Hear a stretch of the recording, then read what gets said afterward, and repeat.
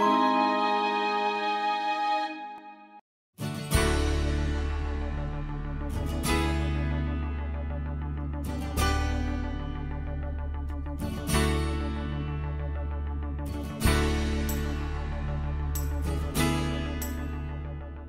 วัสดีค่ะ สวัสดีครับคุณผู้ชมครับ พบกับรายการข้อคิดรอบตัวค่ะ เข้าใจอย่างเข้าถึงเข้าใจเรื่องราวที่อยู่รอบตัวในทุกมุมรอบด้าน และเข้าถึงหลักธรรมคำสอนขององค์พระสัมมาสัมพุทธเจ้าค่ะ นอกจากเราทั้งสองคนแล้วนะครับ คุณผู้ชมยังได้พบกับพระครูประหลัดสุวัฒนโพธิคุณครับ ซึ่งท่านจะได้ถ่ายทอดสาระดีๆ ผ่านทางรายการ พร้อมกับนำธรรมะคำสอนขององค์สมเด็จพระสัมมาสัมพุทธเจ้า มาฝากคุณผู้ชมด้วยครับดิฉันชนันพรรถจันทร์ค่ะและผมรณกรยิมกำชัยรับหน้าที่ดำเนินรายการในวันนี้ครับพี่ น็อตครับปกติเวลาถ้าเราออกกำลังกาย หรือว่าทำงานหนักๆร่างกาย เราก็มีวันที่จะเหนื่อยล้าเหมือนกันใช่ไหมครับ ใช่แล้วล่ะค่ะ แล้วจิตใจเราล่ะคะถ้าทำงานหนักๆท่านผู้ชมคิดว่า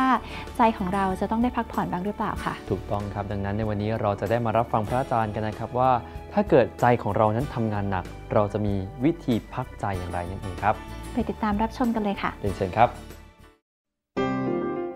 เมื่อเราทำงานหนัก เราเหนื่อยก็ต้องพักผ่อนนอนหลับ แต่เมื่อใจเราล้า เราจะให้ใจเราได้พักด้วยวิธีใด ด้วยความเมตตาของพระครูประหลัดสุวัฒนาโพธิคุณ เรามารับฟังคำตอบกันค่ะ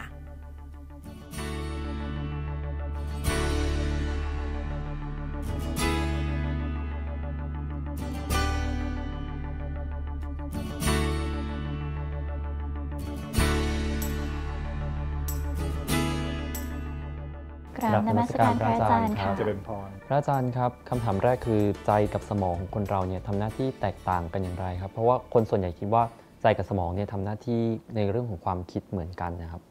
เจริญพร ใจกับสมองเนี่ยเป็นคนละส่วนกัน สมองจะทำหน้าที่คล้าย ๆ กับคอมพิวเตอร์ คิดเก่งนะคอมพิวเตอร์เนี่ยโอ้โห ถ้าเครื่องไหนประสิทธิภาพดีๆ เป็นไง ทั้งการคำนวณทำอะไรได้สารพัดอย่างใช่ไหมเอ่ย แต่ว่าคอมพิวเตอร์จะทำงานได้ก็ต้องมีคนสั่งการมัน ก็คือ user ที่สั่งนี่แหละ จะป้อนโปรแกรมอะไรลงไป จะให้มันทำงานอะไรเนี่ย user คือผู้สั่ง แล้วคอมพิวเตอร์ก็ทำตามคำสั่ง เก่งเท่าไหร่ก็คือทำตามคำสั่ง สมองคนเราก็เปรียบได้กับคอมพิวเตอร์ ส่วนใจคือ user ที่ทำหน้าที่คอยสั่งสมองอีกชั้นหนึ่ง โบราณถึงเรียกว่า ใจเป็นนาย กายเป็นบ่าวเคยได้ยินไหมเอ่ยอืมสมองเป็นส่วนหนึ่งของร่างกาย เหมือนหัวใจเราก็เห็นเต้นตุบตุบตุบตุบสมองก็เป็นก้อนนี่ใช่ไหมเป็นรอยหยักหยักหยักหยักหยักก็ยังเป็นส่วนหนึ่งของร่างกายอยู่นะ ที่มีใจที่เป็นนายเนี่ยคอยสั่งการให้สมองทำการต่างๆ ไปตามที่ใจสั่ง แล้วสมองก็จะส่งสัญญาณประสาทไปควบคุม อวัยวะส่วนต่างๆ ร่างกายอีกชั้นหนึ่ง เช่นสั่งยกแขนขึ้นเป็นไง ใจก็สั่งสมองสมองก็สั่งไปที่แขนแขนก็ยกขึ้นเนี่ยอย่างนี้เป็นต้น ซึ่งเรื่องนี้ บางคนที่ไม่เข้าใจเรื่องใจ ปฏิเสธก็มีนะ ไม่จริงหรอกใจไม่มีหรอกมีแต่สมองนี่แหละ สมองตายก็คือตายไปแล้ว บางคนเลยบอกว่าผู้ป่วยที่สมองตายเป็นเจ้าหญิงเจ้าชายนิทราเนี่ยนั่นถือว่าตายแล้วสามารถชำแหละได้เลยในอดีต อดีตในที่นี้คืออาจจะสัก 40 ปีที่แล้วเนี่ยนักวิทยาศาสตร์บางส่วนยังไม่ค่อยเชื่อเรื่องเกี่ยวกับจิตใจเท่าไหร่ เรื่องพลังจิตเรื่องอำนาจจิตเรื่องของใจเนี่ยยังไม่ค่อยมีความรู้มากและยังไม่ค่อยเชื่อ บางคนเนี่ยต่อต้านอย่างรุนแรงเลยนะ อย่างจอห์นวิลเลอร์เนี่ยเป็นนักฟิสิกส์ที่มีชื่อเสียง เขาต่อต้านนักปรจิตวิทยา คือผู้ที่ศึกษาเรื่องจิตทั้งหลายทั้งปวงโดยสิ้นเชิงแล้วแบบดูเดือดด้วยนะ บางคนไม่เห็นด้วยก็รักษามารยาทใช่ไหมไม่อะไรก็ช่างจะศึกษาศึกษาไปแล้วไม่เชื่อสักอย่าง แต่จอห์นวิลเลอร์นี่ต่อต้านอย่างเปิดเผยและรุนแรงด้วยนะ โอ้โห เรียกว่าเข้มมากเลยเนะี่ยมีอยู่คราวหนึ่ง เขาจะไปแสดงผลงานวิชาการตัวเองด้านฟิสิกส์ที่สมาคมความก้าวหน้าทางวิทยาศาสตร์ของอเมริกา ซึ่งเป็นสมาคมวิชาการที่มีชื่อเสียงมาก นักวิทยาศาสตร์ ชั้นนำทุกสาขาก็จะมา present ผลงานที่นี่ถือเป็นเกียรติยศทีเดียว พอเห็นชื่อของ JB ไลเป็นนักปรจิตวิทยาจะมาแสดงผลงานในการสัมมนาทางวิชาการที่สมาคมนี้เหมือนกัน เท่านั้นเองจอห์นวีลเลอร์ทำไมรู้ไหม ทำจดหมายเปิดผนึกไปถึงนายกสมาคม ขอให้ถอนการแสดงผลงานของ JB Rhine ออกไป เพราะว่าไม่ควรจะมีการมา present ผลงานเรื่องเกี่ยวปรจิต ในเวทีเดียวกับที่จอห์นวิลเลอร์คือตัวเองเนี่ยนักวิทยาศาสตร์ผู้มีชื่อเสียง จะมาแสดงผลงานมันไม่สมศักดิ์ศรีกันทำให้เสื่อมเสียคุณค่า กับสมาคมวิชาการอะไรก็ว่าไปเรื่อยเลย แต่ว่ามันทุกอย่างกำหนดไปแล้วก็ไม่สามารถถอนได้ พอถอนไม่สำเร็จทำไงรู้ไหมเอ่ยก่อนเจบีไลจะขึ้นพูด คิวตัวเองอยู่ที่หลัง แต่ก่อนที่นักประจิตวิทยาเจบีไลจะขึ้นพูด ขอขึ้นก่อน ขอเสียมารยาทนะขอขึ้นก่อนบอกขอเวลาสักนาทีสองนาที ขึ้นไปเพื่อจะไปปราศัยโจมตี เออเวทีวิชาการนะ เอางี้เลยอะ่ะแล้วเขาก็พูดบอกว่า วิทยาศาสตร์ของเราคือสิ่งที่พิสูจน์ได้ทำซ้ำได้ จะทำกี่ร้อยครั้งก็ได้ผลเหมือนเดิม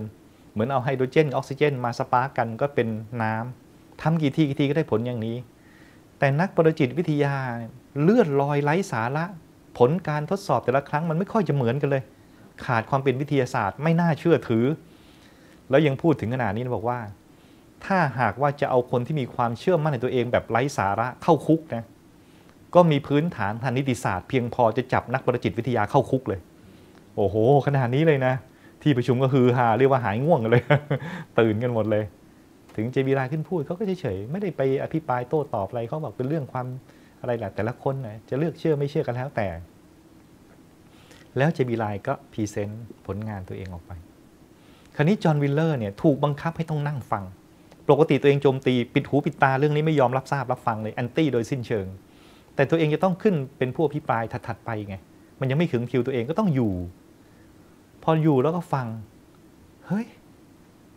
มันมีบางอย่างที่น่าสนใจที่ตัวเองไม่เคยรู้มาก่อนนะ ชักชักงงๆแล้ว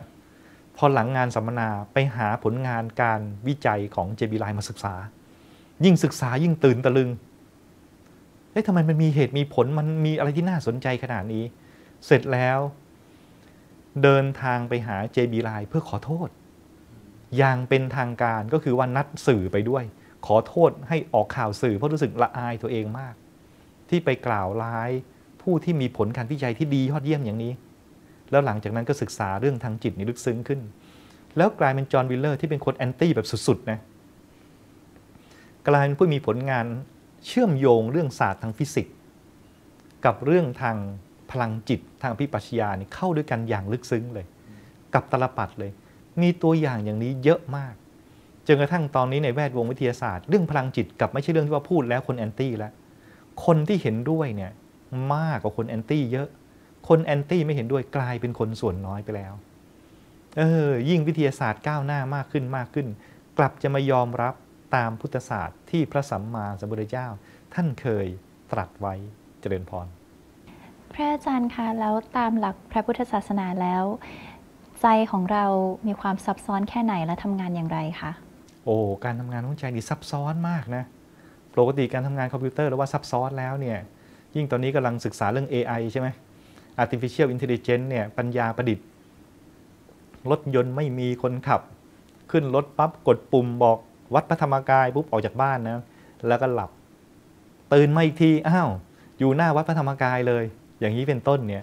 มันเลี้ยวซ้ายเลี้ยวขวาไฟเขียวไฟแดงรถแซงปาดหน้ามันหลบได้หมด แล้วเขาพบว่าประสิทธิภาพดีกว่าคนขับอีก อุบัติเหตุน้อยกว่ากันเป็นร้อยเท่า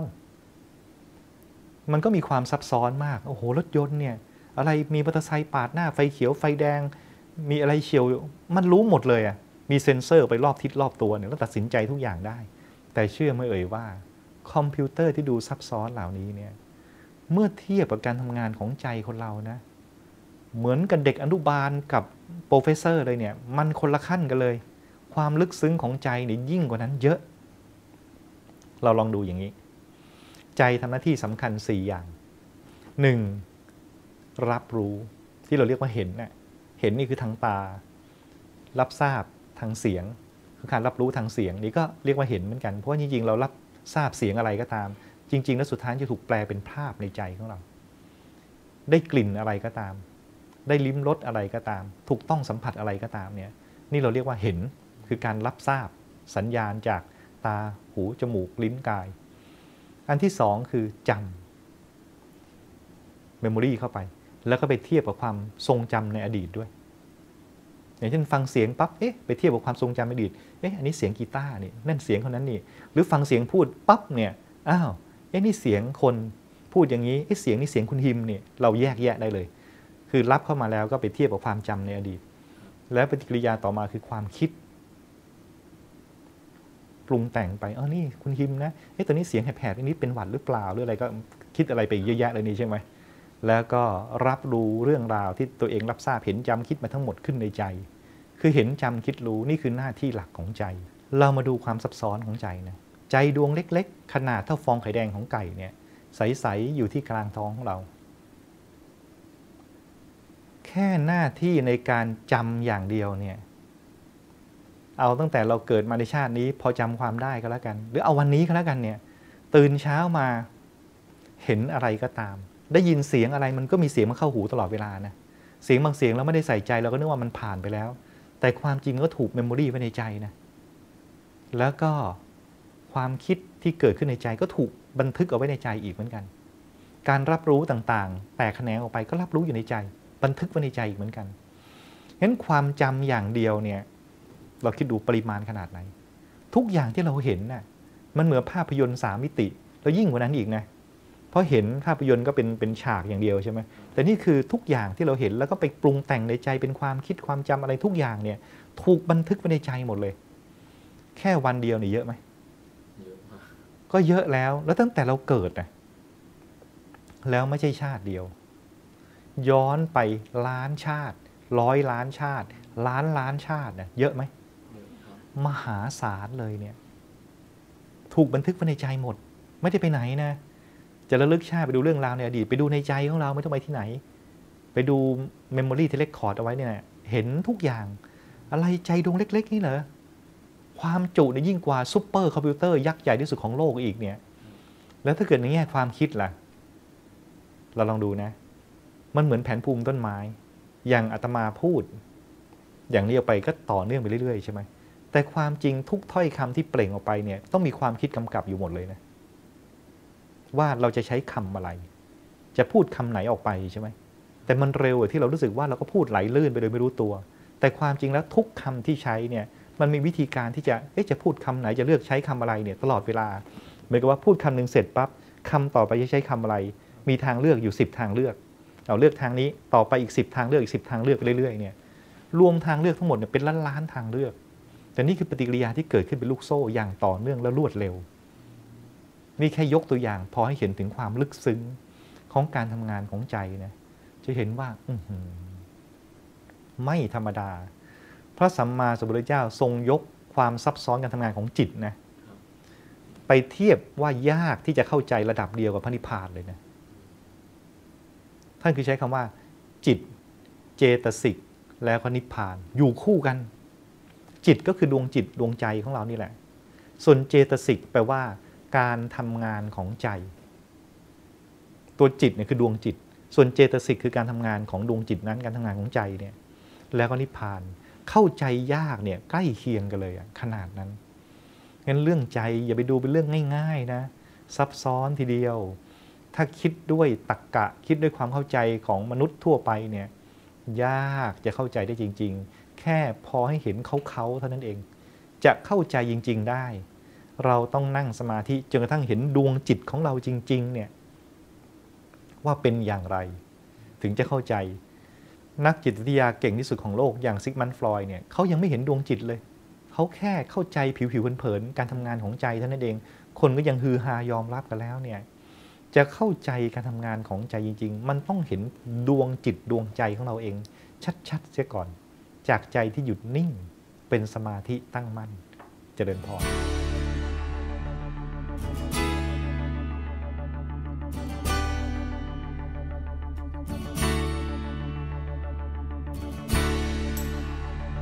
อาจารย์ครับแล้วอย่างร่างกายของคนเรายังมีวันเหนื่อยล้าแล้วอย่างใจของเรานี่จะมีเหนื่อยล้าได้ไหมครับอาจารย์ครับอ่าแน่นอน บางทีเคยรู้สึกไหมว่าเราใช้ความคิดเยอะ ๆ หรือมีทำงานท่ามกลางแรงกดดันมากๆเนี่ย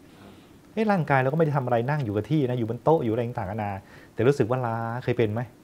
ขับเครื่องบินอยู่โอ้โหเจอหลุมอากาศเจอพายุเจอโน่นเจอนี่ขึ้นมาสึกต้องเกรงรับผิดชอบชีวิตผู้โดยสารมาก เสร็จแล้วรู้สึกเออเราก็ล้าๆนะเพราะว่าใจมันต้องแบบทำงานหนักมากเลยเนี่ย เพราะฉะนั้นร่างกายล้าเป็นใจก็ล้าเป็น แม้แต่พวกเราทั่วไปก็คงเคยเจอบางทีมีปัญหาชีวิตหนักๆถาโถมเข้ามาเนี่ย เรารู้สึกว่าโอ้โหเหนื่อยล้า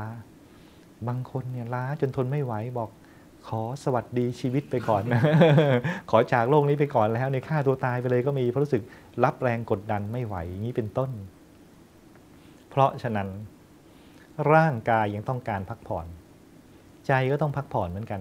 เราถึงต้องนอนหลับไงตอนนอนหลับเนี่ยใจจะแช่อิ่มในน้ำเลี้ยงของใจทำให้สดชื่น ถ้าเรานอน ก็ไม่ได้ทำอะไรก็นอนในแง่ร่างกายก็คล้ายๆ ก็นอนอยู่บนเตียงไงใช่ไหมแต่ว่าไม่หลับเนี่ยสดชื่นไหมไม่สดชื่นเผลอๆล้ากว่าเก่าอีก เพราะว่าร่างกายได้พัก แต่ใจยังไม่ได้พัก มันต้องหลับในภาวะที่เรารู้สึกว่าเราหลับไปแล้วเนี่ยใจจะแช่อิ่มในน้ำเลี้ยงของใจ นี่มันต้องพักอย่างนี้ กายต้องพักใจก็ต้องพักเหมือนกัน เจริญพร ระอาจารย์คะเมื่อเราละโลกไปแล้ว สมองของเราตาย แล้วใจของเราล่ะคะเป็นยังไงอ่าใจของเราก็จะไปเกิดใหม่ในภพภูมิต่างๆ แล้วแต่กำลังบุญกำลังบาปที่เราทำเอาไว้ สิ่งที่เราทำเอาไว้ไม่ได้หายไปไหนนะทำความดีก็เกิดเป็นบุญกุศลทำให้ใจเราผ่องใส บุญเป็นธาตุศักดิ์สิทธิ์ มีบุญยฤทธิ์ที่ทำให้ใจเราเนี่ยเออสว่างใส เราเห็นคนทำบุญไหม ทำบุญตักบาตรหรือว่าเห็นคนลำบากยากจนไปช่วยเขามีงานอะไรส่วนรวมก็ไปช่วยมีน้ำใจเนี่ยแล้วรู้สึกสบายใจชื่นใจ บางคนฝนตกตกเห็นรถข้างหน้าแฉลบตกข้างทางอุ้ยมืดมืดอย่างนี้ถ้าเราไม่ลงไปช่วยคันหลังไม่รู้เลยนะมีรถแฉลบลงข้างทางอาจจะจมน้ำไปเลยก็ได้ รีบจอดรถตากฝนลงไปช่วย แจ้งตำรวจ หาหน่วยกู้ภัยมาจนกระทั่งสำเร็จ เนื้อตัวเปียกปอนไปหมด แต่พอกลับถึงบ้านล้างหน้าล้างตาโอ้โหหน้าใสปิ้งเลยเพราะว่ารู้สึกสบายใจ ว่าโอ้เราได้ช่วยเขานะ ใจมันชื่นบุญเกิดขึ้นหล่อเลี้ยงใจในใจก็สว่าง ส่งผลถึงบุคลิกหน้าตาผิวพรรณก็สว่างไปด้วย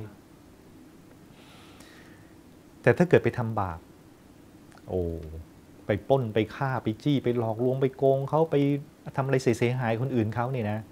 บาปก็จะมาหุ้มใจทำให้ใจดำมืด โบราณบอกดูหน้าตายังมองมองคล้ำคล้ำบอกราศีโจรจับเนี่ย เป็นอย่างนั้นดูปั๊บก็รู้สึกเอ้ยคนนี้นี่ดูแปลกๆแล้วเนี่ยนี่เป็นอย่างนี้เลย พอถึงคราวละจากโลกนี้ตายอะร่างกายก็ไปเผาไปฝัง แต่ใจก็ไปเกิดใหม่ ถ้ามีบุญเยอะก็ไปเกิดในสุคติโลกสวรรค์ ถ้าบาปเยอะก็ไปตกนรก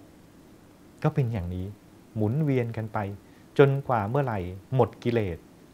ถึงจะพ้นจากการเวียนว่ายตายเกิด แล้วเข้าสู่พระนิพพาน พระอาจารย์คะสุดท้ายนี้อยากให้พระอาจารย์ฝากวิธีรักษาใจของเราหน่อยค่ะ เจริญพร ร่างกายเราเองจะให้แข็งแรงก็ต้องไปออกกำลังกาย แล้วก็หลีกเลี่ยงพวกอบายมุขสุรายาเสพติดเลยใช่ไหมเอ่ยใจของเราก็เหมือนกัน เราอยากให้ใจของเราเองมีสุขภาพใจดีนะต้องหลีกเลี่ยงสิ่งที่มาบ่อนทำลายใจ แล้วก็หาทางบำรุงใจเราเองให้แข็งแรง มาดูสองทางนี้ สิ่งที่จะบ่อนทำลายใจของเราก็คือ ราคะโทสะโมหะ คือเมื่อใดก็ตามเราไปคิดในเรื่องของราคะหรือโลภะก็ตาม ใจก็จะเศร้าหมอง โกรธใครขึ้นมาใจก็เศร้าหมอง ไปคิดลุ่มหลงมัวเมาในสิ่งใดก็ตามเนี่ยใจก็เศร้าหมองสุขภาพใจเสียเห็นเราหลีกเลี่ยงจากความคิดที่ไม่ดีเหล่านี้บางคนแล้วจะเลี่ยงได้ไงมันคิดขึ้นมาเนี่ย เอ้าเวลาเรารู้ตัวว่าเอ้ยไปคิดเรื่องไม่ดีแล้วนะ คิดยิ่งคิดยิ่งกลุ่ม โกรธแล้วยิ่งคิดยิ่งโกรธจะมาคิดไม่เป็นละโลภแล้วยิ่งคิดยิ่งโลภหลงมัวเมาอะไรแล้วยิ่งคิดยิ่งลุ่มหลงมัวเมามากขึ้นแสดงว่าคิดผิด ให้จูนปรับความคิดใหม่ ถ้ายังไม่รู้จูนยังไงนะ ให้ดึงใจเราเองออกมาจากความคิดนั้นก่อน ถามว่าจะดึงออกมายังไง มันยังคิดอยู่อะทำง่ายๆอย่างเงี้ยถ้านั่งสมาธิปั๊บมันยังดึงไม่ค่อยออกจะวนกลับไปคิดอยู่เรื่อย สวดมนต์ก่อนอรหังสัมมาก็ได้ ถ้าสั้นเกินเนี่ยอิติปิโสร้อยแปดจบก็ได้ ถ้ายังรู้สึกว่าสั้นเกินไปเอา้าธรรมจักก็ได้ เอวัมเมสุตังจบหนึ่งเนี่ยสิบเจ็ดนาทีกำลังดีนี่นะสวดมนต์ไปใจก็จะเกาะกับเสียงสวดมนต์หลาย ๆ รอบสองรอบสามรอบจนใจสบาย แล้วก็นั่งสมาธิต่อ ใจเราจะหลุดจากความคิดที่ไม่ดีเหล่านั้น ถัดมาก็จะมาเสริมส่วนที่สองคือ ทางบวกที่ทำให้ใจเราแข็งแรง คือมีหลักอยู่ว่าใจคนเราเนี่ยเมื่อไหร่อยู่นิ่ง สงบนิ่งเนี่ยจะมีพลัง เมื่อไหร่ใจกระเพื่อมฟุ้งซ่านนะอ่อนกำลัง ใจจะฟุ้งซ่านก็ด้วยเนี่ยราคะหรือโลภะโทสะโมหะนี่แหละ จะฟุ้งในสิ่งเหล่านี้ แต่ถ้าเกิดใจหยุดนิ่งเมื่อไหร่ปั๊บใจจะมีพลังงั้นเราก็ต้องทำให้ใจเราเองหยุดนิ่ง ด้วยการสวดมนต์แล้วก็นั่งสมาธิ ยิ่งใจนิ่งเท่าไหร่ใจก็มีพลังมากเท่านั้นขณะเดียวกันก็ให้แผ่เมตตาจิตต่อสรรพสัตว์ทั้งหลายทั้งปวงเนี่ยใจเวลาจะคิดก็จะคิดในเรื่องที่อ่อนโยน มีเมตตาตรงกันข้ามกับราคะโทสะโมหะ อย่างนี้ใจเราเองก็จะมีสุขภาพใจดี แล้วก็จะไปหยิบไปจับทำอะไรก็จะดีหมดเลย ดีไม่เอ่ยเจริญพร วันนี้ได้มาฟังธรรมะดีๆ จากพระอาจารย์ ต้องขอกราบขอบพระคุณพระอาจารย์นะคะกราบขอบคุณครับ เจริญพร